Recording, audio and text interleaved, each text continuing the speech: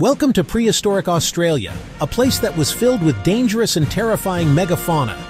This was a time of giant kangaroos, mega marsupial lions, super long snakes, and terrifying birds.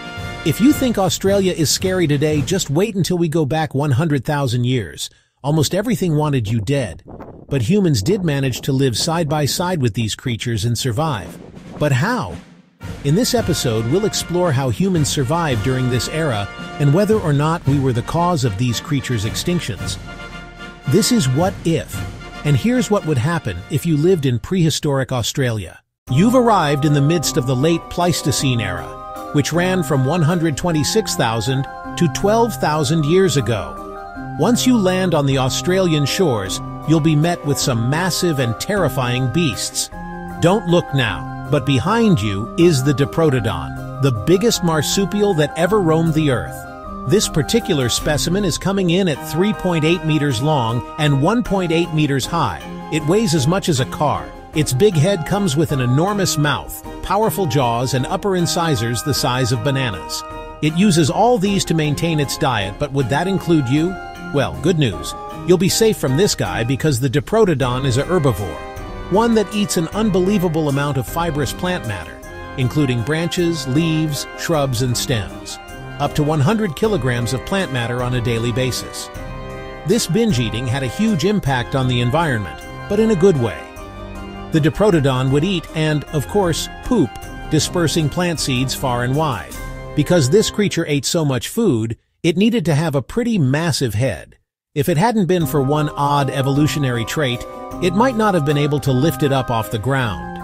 The Diprotodon was lucky enough to have a skull full of air pockets, making it much lighter to lift.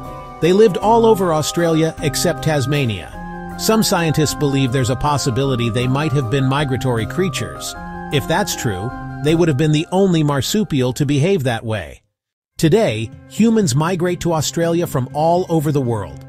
Except nowadays when we're traveling there, we don't need to worry about megafauna. We just need to worry about really long flights and changing time zones. You know, if I traveled from Toronto, Canada to Sydney, Australia today, I'd be crossing around 16 time zones. By the time I got off the flight, how would I have any idea of what time it was? Sure, most days I'd just check my smartphone for the accurate local time, but not on a special day like today. Because today I'm going to use this incredible sundial I just received in my latest Curiosity box. Every three months, I get a new Curiosity box delivered to my studio, and I'm always so excited to see what's inside. Created by Michael Stevens, a fellow science YouTuber from Vsauce, this subscription delivers boxes of premium science toys, experiments, and collectibles four times per year. The holiday box includes these seven-wire puzzles to exercise your brain, this rainbow diffraction chocolate mold to make holographic chocolate, and of course the Schmoyer sundial. It's one of the only sundial designs in the world that can tell accurate clock time. It can even account for daylight savings time. Want to know how? Well, then you gotta get the box. Click on the link below and use my promo code WHATIF to get 25% off. Plus, they also have a special holiday offer, which gives a free legacy box to all new customers that purchase an annual plan. Trust me, it's the perfect gift for adults and teens in your life that love science. You know, these boxes always inspire me for new What If episodes, but the holiday box gave me even more ideas than usual. Well, that's because it features this book that explores wild hypothetical scenarios, like scientific teleportation and faster-than-light travel, just like the ones on our channel. It's a new collection of stories from one of the earliest science fiction writers, Edward Page Mitchell. If it wasn't for his early curiosities, there might not be a What If today. I wonder if he has any stories about traveling to prehistoric Australia? Well, you'll have to find out yourself by clicking the link below. Until then, let's get exploring. Okay, time to meet another creature from prehistoric Australia. This time it's a lot scarier. It's a huge goanna. This gigantic monitor lizard called the Megalania prisca is the largest land-based lizard of all time. It was a ferocious reptilian predator, a carnivore that ate large mammals, snakes, birds, and other reptiles. So it's probably a good idea to stay clear of this guy. This lizard could grow as long as 5 meters and weighed up to 575 kilograms. If you look closely at its snout, you'll see an unusual crest. This snout housed some scary sharp teeth that curved backward. This goanna was both an ambush predator and a scavenger. It would lay in wait for its next victim. Innocent kangaroos, deer, wild pigs, maybe even you. Then it would pounce. Its toxic saliva would first cause an infection and shortly after, death. This guy is still around today, sort of. You can see relatives of the Megalania in reptiles like the Komodo dragon. But its closest relative is another lizard in Australia, the Perentie. And at least this one isn't as massive. If you think this giant lizard is bad, just wait until you see what we have next. Time to check out another beast, this time a non-venomous one. A giant snake called the Wonambi. Wonambi like to live in the cool and dry regions of Australia, now I just told you it's non-venomous, but you'd probably want to stay away from it anyway. Like the Megalania, it was an ambush predator, and it liked to kill its prey by squeezing them to death. If you're wandering around prehistoric Australia, you might encounter it hanging out by a watering hole. Usually it goes after kangaroos and wallabies who are stopping by for a drink. The Wonambi like to wrap its 4 to 6 meter long body tightly around you until you stop breathing. Luckily, these snakes aren't around anymore. So these megafauna were living in Australia all throughout the Pleistocene period, from two and a half million years ago. But if we fast forward 40,000 to 60,000 years ago, something terrible happens. The megafauna go extinct. Just a little before the extinctions occurred, a new apex predator arrived on land. Was it some new terrible and scary beast? No, it was just us, humans. If you were around during this time, you would have been part of the earliest Australians on the continent. They arrived maybe 65,000 years ago, coming by boat to northern Australia, and then quickly spreading around the coast and into the interior. Which brings us to two important questions. First, how did humans survive these dangerous megafauna? Well, early humans were armed with two critical weapons to survive living amongst these creatures, fire and hunting weapons. Scientists have found megafauna remains while looking at old aboriginal settlements. One of the weapons of choice to fend off these megafauna may have been sharpened bones, but that's not all. It's also suspected that these early humans developed the use of nets to capture some of these creatures.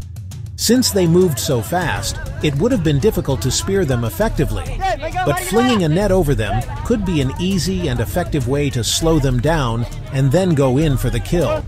To further protect yourself during this time, you'd want to build a shelter. Rock and bone shelters were a popular choice in prehistoric Australia because they could prevent animals from getting in and eating you. These structures were also essential to protect you from the environment.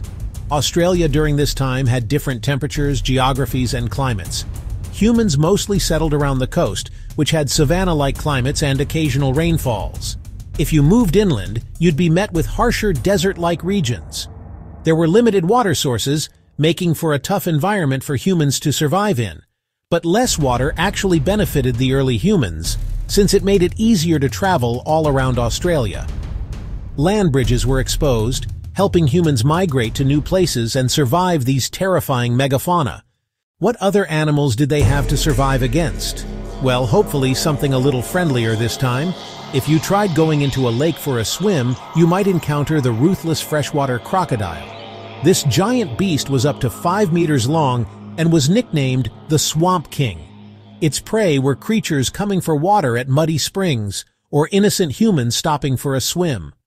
The freshwater crocodile was built to be a ferocious predator. It had deeper and wider jaws than modern saltwater crocodiles today. Its closest living relative is the Indo-Pacific crocodile, which can grow up to 6 meters. But the old Swamp King was bulkier than this modern-day croc and had a bigger snout. Okay, let's get away from this croc and go find... Any guesses? Yeah, another terrifying creature that wants to kill you. And this one might be the scariest yet. If we swoop down into one of the ancient forests, we're going to see a pretty unusual lion-type predator, the Thylacoleo. This wasn't like a lion you'd find at the zoo. It was a carnivorous marsupial, like a cross between a kangaroo and a deadly cat, fully equipped with a pouch to carry its young. It's known as one of the most destructive predatory beasts ever, and there's a good reason for that description. Scientists have found that the Thylacoleo had a bite strength of 250 kilograms. Though it scavenged when it got a chance, it was an ambush predator equipped with some of the fiercest teeth ever seen for effective killing.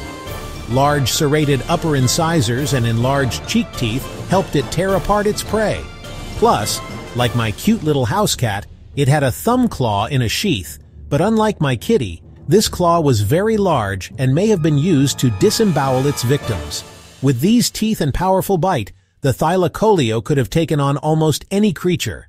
If you encountered this predator in the Australian outback, there's one saving grace. It wasn't the fastest runner, so if you see this beast, get running. Run as fast and as long as you can. And don't try to climb up a tree, because this beast was well equipped for that. Now there's a lot of debate as to what this creature's total diet consisted of. Its ancestors were herbivores, so there's some speculation that this marsupial lion also enjoyed a salad with its steak. Other yummy parts of its diet included crocodile eggs and bone marrow. Under the melon muncher hypothesis, some have speculated that the Thylacoleo ate native cucumbers. But somehow I just can't imagine this beast feasting on a jar of garlic dills.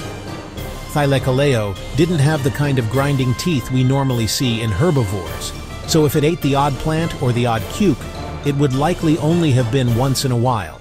It would much rather dine on you. Okay, let's check out another nightmarish creature, the thunderbird. This bird stood over two meters high and had these giant hind legs.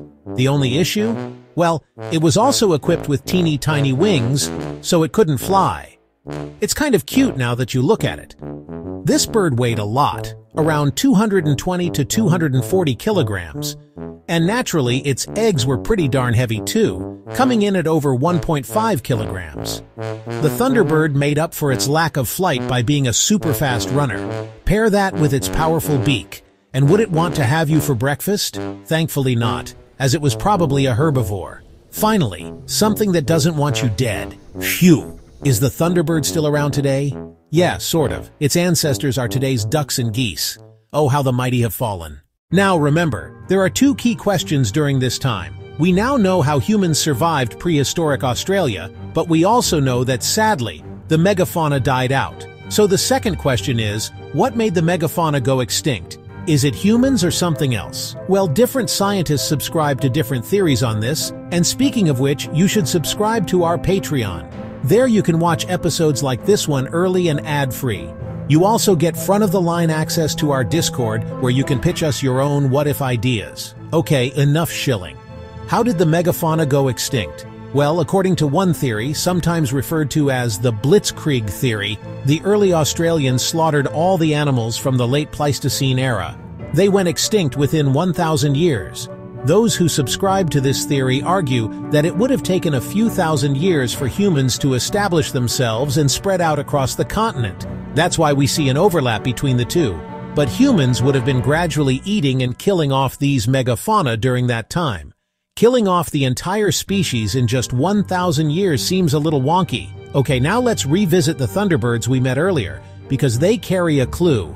Scientists have been studying burn patterns on eggshell fossils. Were they caused by humans or nature? They've concluded that the burns were not from natural fire, so there's some evidence that humans played a hand in these birds' fate. And looking at humans' destructive behavior nowadays, it's easy enough to believe that it's the humans who were responsible, but there's also evidence disproving this theory. First off, some scientists argue that a lot of the megafauna, maybe up to 85%, were already extinct before humans got there. But most importantly, fossils of megafauna have been found that date to periods well after humans arrived on the scene. This proves that humans and these giant beasts coexisted for a long time, anywhere from 10,000 to 30,000 years of overlap. This indicates that while early humans might have hunted these large beasts, they did it in a sustainable way. If this is true, and humans were hunting sustainably, there's got to be something else that was deadly to the megafauna. It's something we're very familiar with today. Climate change. As the last ice age began to thaw, it would have had huge implications on habitats. The critical period for Australian fauna would have been around 30,000 years ago. Some scientists who've studied climate change have noticed that things were getting warmer and drier as the ice age came to an end. Let's visit a spot in Australia called Cuddy Springs. And despite what the name suggests, It's not a hotspot for cuddling, but it is a spot where different kinds of megafauna fossils can be found. Comparing fossils from half a million years ago with those from about 40,000 years ago, scientists found that the older creatures ate greens that indicated a much wetter climate. The 40,000-year-old specimens had to settle for plants that grew in much drier environments. As a result, the later megafauna gave up eating saltbush, a shrub that the older megafauna had enjoyed. These creatures figured out that when there isn't enough water to go around, you need to limit your salt intake. Anyone who's bought the extra-large popcorn and the small Coke Zero knows that. And this tracks with what we know about the climate toward the end of the Pleistocene. Ice Age glaciers melted as the planet warmed. This in turn impacted plants and shrubs and affected the megafauna. The drying out of the environment, a higher frequency of fires, and the disappearance of grasslands, changes in vegetation may have led many of these creatures to go extinct. The scientists in the Blitzkrieg camp have a response to this view on climate change. They argue that the climate has been going through cold and dry, alternating with warm and wet cycles over and over again for the last two and a half million years. And yet the megafauna had survived those cycles multiple times. It was only when humans landed on the scene that the megafauna were unable to cope with climate change. So they may have a point. For sure, the argument isn't settled yet. It could be humans who made the megafauna extinct, or it may have been the environment, or maybe it was something somewhere in between. The one thing we know for sure is that humans are powerful predators with an unmatched ability to impact our environment. We're seeing that today as the temperature continues to rise relentlessly due to human-induced warming. Humans are both incredible creators and destroyers. Okay, next let's jump over to another time period. Let's go back over 100 million years ago to the Cretaceous period. Think you'd be able to survive there? Well, that sounds like a story for another What If.